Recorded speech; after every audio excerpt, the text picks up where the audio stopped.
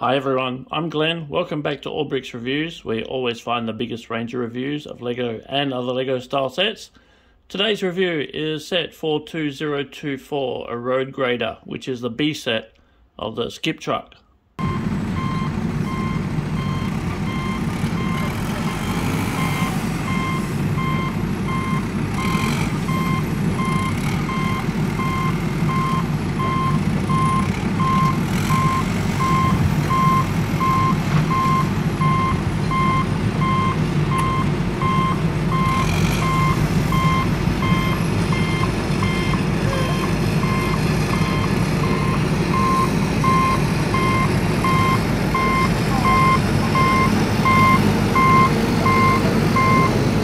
Unlike the skip truck, the grader doesn't give you the option to be able to put the power functions into it. The one upgrade I was able to do though was swap out the original 49.5s for these tractor treads and I think that just finishes it off really nicely. Here we have one of the functions, it's the winder for, for the rear ripper.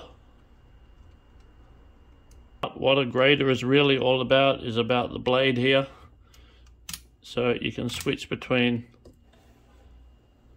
functions of adjusting the angle with one of the linear actuators there. And flick this way and then you can adjust the height up and down.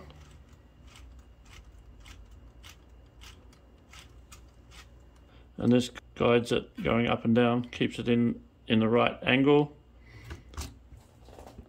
Around the other side, the, the angle this way is operated from this part here.